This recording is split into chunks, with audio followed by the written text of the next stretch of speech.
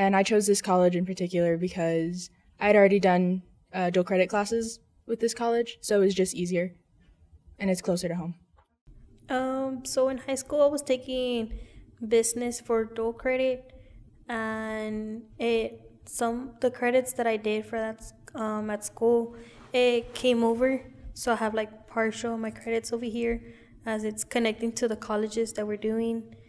Um, but yeah, I have like my business credit out the way, so because of high school, it actually helped a lot as we will work the stuff that we're doing now.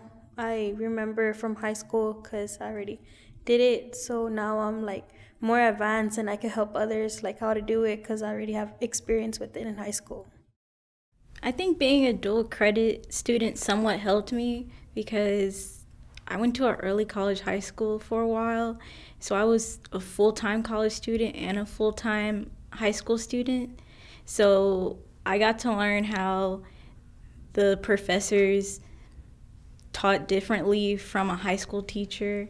So it really helped me transition when I did come to community college fully.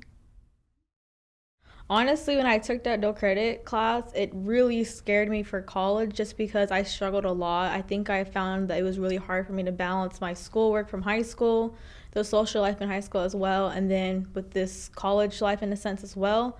Um, I took my dual credit uh, class at the same college I attend now, and I remember after that class finished, I was so relieved and stress free.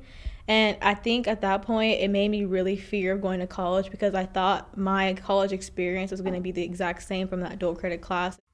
I wish I had not taken dual credit classes the first semester and the first year of high school because I was already nervous enough about high school as is and to get all that forced upon you was not the best. I wished after that that they had really helped us and showed us during the freshman year how to do college and then taking the dual credit classes. I think my first dual credit class that semester was really tough because they put us in classes that our teachers were not prepared to teach. Um, for example, biology was horrible. My teacher was constantly looking up things to ask and assignments to do mid class, so they were not prepared for that at all. And so that really affected my mentality of what college was going to be like and how hard these classes were going to be.